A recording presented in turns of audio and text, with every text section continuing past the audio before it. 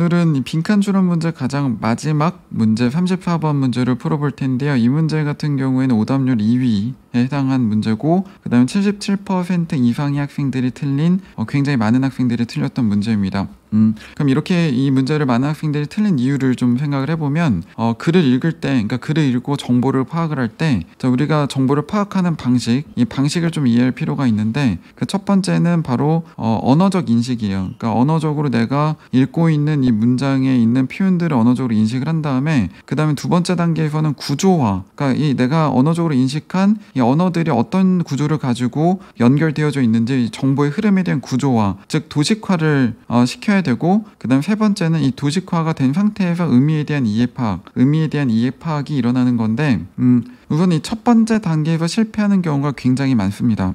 그러니까 우리가 뭔가를 이해를 할 때 이 세 가지 단계가 굉장히 빠르게 동시적으로 발생하기 때문에 우리가 이렇게 단계가 나눠진다라는 걸 인식을 못 하는데 실질적으로 보면은 무언가 이해를 잘 못한 학생들의 가장 커다란 특징 중에 하나가 방금 자신이 언어로 읽은 그 문장을 다시 되물어 봤을 때 대답을 하지 못해요. 방금 읽었음에도 불구하고 그러니까 그 말은 자신이 방금 읽은 문장의 언어적인 표현들에 대한 인식이 되지 않았다라는 이야기죠. 그러니까 인식이 되지 않았기 때문에 기억이 나지 않는 거고 그러니까 기억이 나지 않는다라는 건 또 이게 쉽게 머릿속에서 기억할 정도의 구조화가 일어나지 않았다라는 의미도 돼요. 그러니까 당연히 이 의미에 대한 이해 파악도 되지 않는 거죠. 그래서 일단 여러분들 항상 글을 읽을 때 첫 번째로는 내가 읽은 이 문장에 대한 어떤 구조화 그러니까 이해가 안 돼도 괜찮아. 일단 구 조화를 할 수 있어야 그 다음에 이해가 가능한 거기 때문에 일단 구조화라는 연습을 굉장히 많이 충분히 하셔야 됩니다. 그러니까 어떤 그 책이든지 책을 읽고 나면 그러니까 뭔가 정보가 복잡하게 나올 때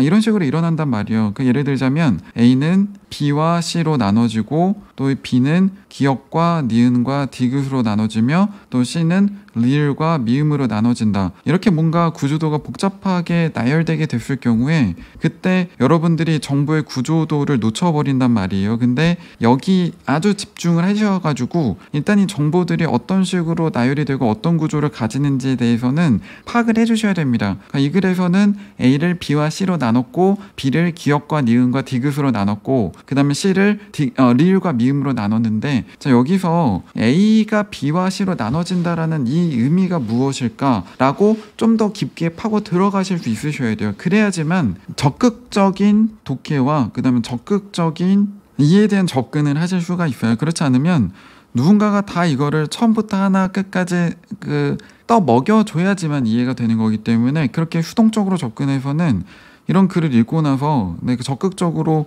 이 글에 대한 어떤 구조도나 의미적 이해를 파악할 수 있는 능력이 어, 발달되지가 않아요. 그러니까 꼭 이걸 딱 보시고 먼저 언어적으로 파악을 하시고 그 다음에 그 구조를 그려내시고 그 다음에 의미 단계로 나아가는 건데 의미 이해 단계까지는 시간이 굉장히 가장 오래 걸리는 부분이기 때문에 먼저 언어적인 인식 단계에 대해서 어 1차적으로 좀 신경을 써서 연습을 하실 필요가 있어요. 그러니까 예를 들자면 지금 이 앞부분의 첫 문장을 보게 되면은 여기 등장한 어, 어떤 소재 주인공이 있죠. 바로 누구냐? 모든 사람들이 주어 자리에 등장을 했고, 그러니까 지금 모든 사람들에 대해 설명을 해주고 있고 카테고리가 정해지죠. 어떤 모든 사람들이에요. 운전을 하고 또 걸어 다니고 그다음에 교통카드를 긁는 이 도시에 사는 모든 사람들이 그다음에 동사가 방향을 설명해 주는데 자기 자신을 뭐로 여기냐면 어, 교통 전문가로 여긴대요. 어, 문을 열고 집 밖으로 나, 걸어 나가는 그 순간부터. 그럼 방금 이제 이 문장을 읽고 나서는 일단은 언어적으로 인식을 하셔야 되죠. 아, 모든 사람들은 어, 도시에 있는 모든 사람들은 자기 자신을 교통의 전문가로 여긴다고 지금 앞에 필자가 설명을 했구나. 일단 여기까지가 이제 인식의 단계고, 그다음에 구조화의 단계는 이걸 조금 더 단순하게 어, 이렇게 간단하게 바꾸는 거죠. 뭐 여러 가지 그림을 그릴 수 있는데 어, 이미지화를 시켜도 돼, 좋아요. 네, 뭔가 이런 그림을 그려줄 수도 있겠죠. 머릿속으로. 도시에 사는 모든 사람들은 자신을 교통 전문가로 여긴다. 이렇게. 그러니까 언어적인 구조를 인식하고 나서는 이제 그거를 도식화를 시켜주는데 언어적 구조를 깨서 최대한 단순화시키게, 단순화시켜서 내가 이 정보를 기억할 수 있게 만들어주는 작업인 거예요. 그 다음에 이제 여기서 의미 파악을 해야 되는데, 이 의미 파악이 있어서 이제, 어, 선생님 같은 사람들한테 도움을 받으셔야 되는 거죠. 그러니까 자신을 전문가로 여긴다. 즉, 어, 이 교통이라는 분야와 관련돼선 결정을 내릴 때 이 결정의 기준이 자기 자신이 된다라는 의미입니다. 그리고 조금 더 확장을 시키자면 이제 수능에서 어, 누군가가 자신을 전문가로 여긴다 이런 말이 나왔을 때 어, 머릿속에 그려지는 그림은요. 기준이 지금 자기 자신이 되기 때문에 다른 사람들과 의견이 달라지게 돼요. 그러니까 자신 그 다음에 집단, 그러니까 개인 대 집단 이런 어떤 커다란 방향성이 어, 이제 들어가 있는 지문들이 굉장히 많거든요. 그리고 조금 더 어, 이 숙련된 그러니까 수능 문제를 풀 때 이제 숙련된 이 리더의 경우에는 여기 앞부분을 딱 읽고서 아 지금 이 글의 큰 방향이 어, 자신 또는 개인을 중심으로 흘러가겠구나 이걸 여기서 좀 파악을 해볼 수 있고 그럼 이 글에서 집단과 개인 간의 어떤 관계성 또는 이 관점의 변화 왔다 갔다 하는 이런 부분을 다룰 가능성이 좀 높을 것 같은데 뭐 이걸 여기서 이제 의미를 파악할 수 있겠죠.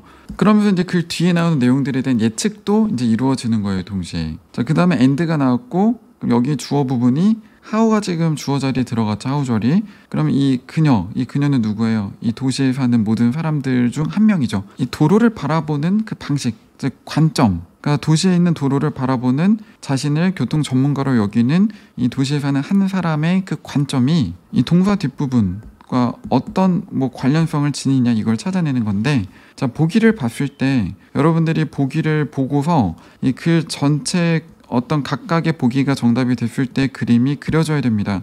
그러니까 이게 보기 분석인데 먼저 1번을 보면은요. rely on이 나왔어요. 그러니까 A가 B에 의존한다라는 말이 나오게 되는 경우에 이거는 B가 A에 영향을 미친다라는 그런 어, 방향을 제공하고요. 그럼 1번은 다른 사람들이 그녀의 도시의 그 길 도로들을 바라보는 관점. 즉 요거를 조금 더 단순화시키면 다른 사람들의 관 다른 사람들의 관점에 영향을 받는다라는 겁니다. 그러면 첫 번째 문장에서 봤던 거랑 어, 글의 방향이 좀 많이 달라지죠. 첫 번째 문장에는 자기 자신을 기준점에 놨죠. 자기 자신을 전문가로 본다. 그러니까 여기서 어, herself가 지금 딱 나왔기 때문에 자기 자신이 전문가다. 기준이 자기 자신이죠. 근데 여기는 기준이 다른 사람들의 관점이기 때문에 어, 1번이 답이 될 가능성은 없을 것 같다라는 게 여기서부터 벌써 좀 느껴지고요.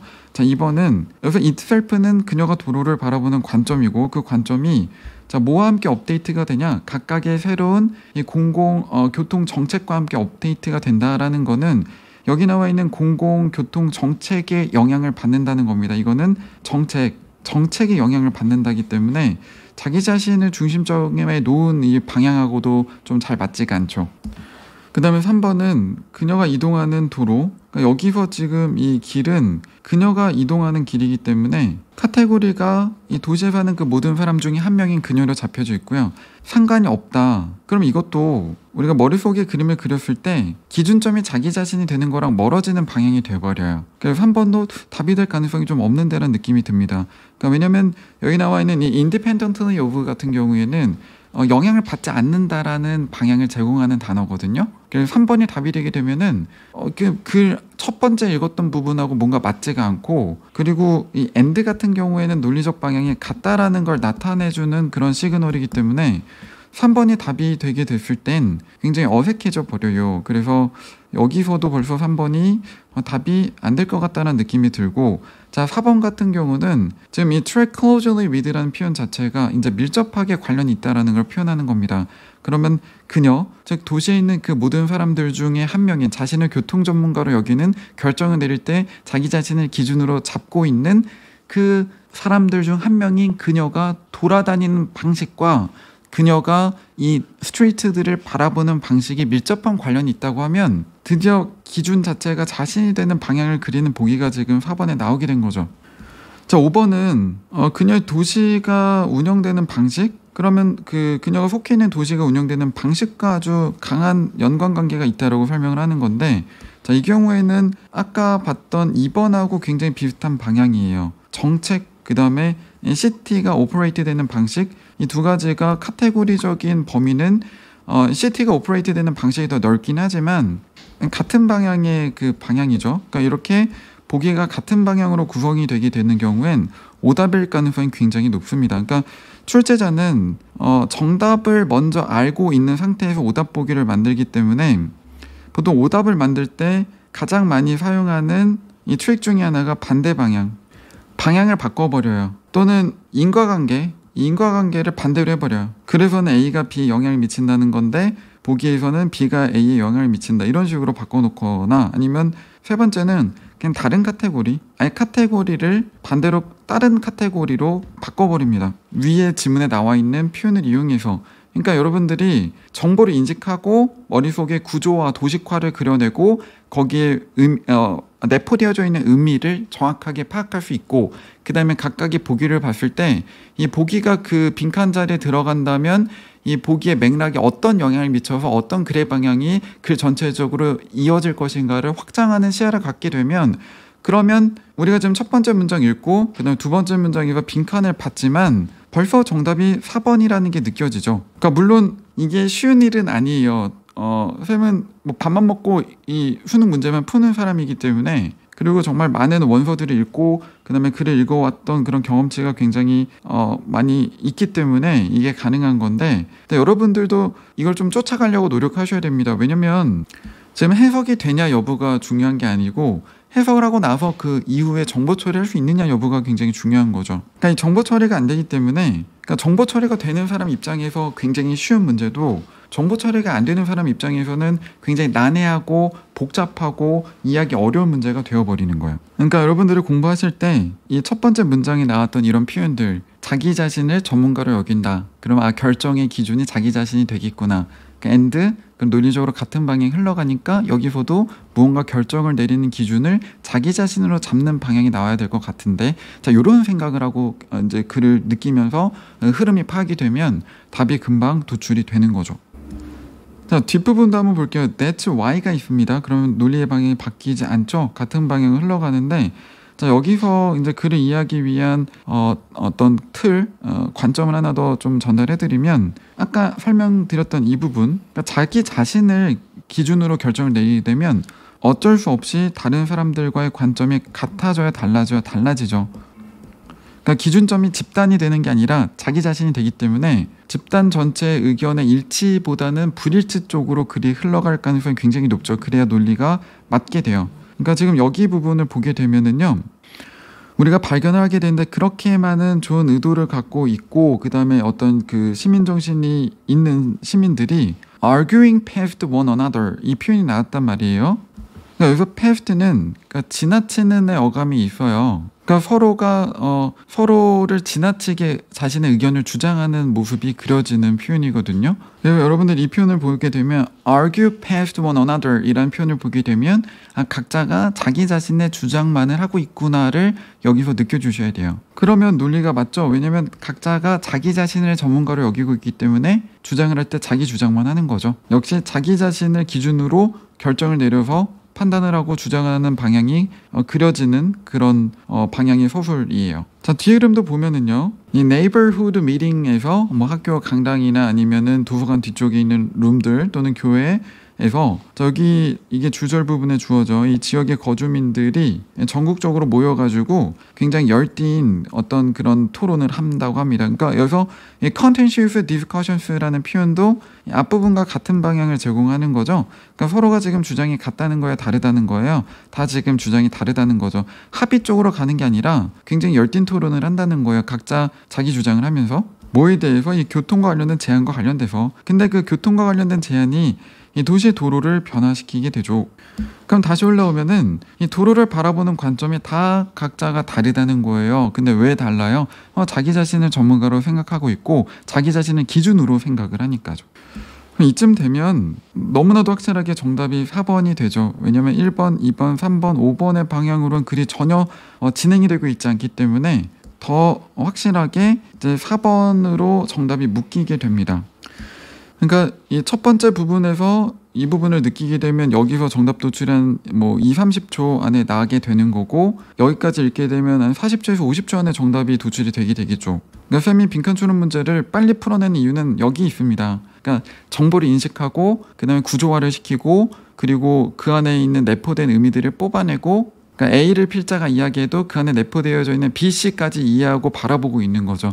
그 다음에 그걸 바탕으로 뒤에 나와올 글의 흐름을 예측하고 그 다음에 글을 읽을 때 내 예측에 맞구나를 확인하는 느낌으로 글을 읽게 돼요. 그러면 정답이 빨리 도출이 되게 되죠. 그리고 각각의 보기를 봤을 때 이 각각의 보기가 됐을 때 글 전체 논리적인 응집성 그러니까 맥락적으로 앞뒤의 맥락의 흐름이 어떤 게 답이 돼야지만 흐름이 정확하게 논리 정연하게 질서 정연하게 하나의 질서를 이루면서 전체가 같은 방향으로 나아가게 되는가. 자, 이 관점에서 좀 거시적인 관점, 그러니까 필요에 따라서 미시적 관점과 거시적 관점을 자유자재로 넘나들면서 글을 바라보는 거예요. 어, 그때 정답이 굉장히 빨리 도출이 되게 됩니다.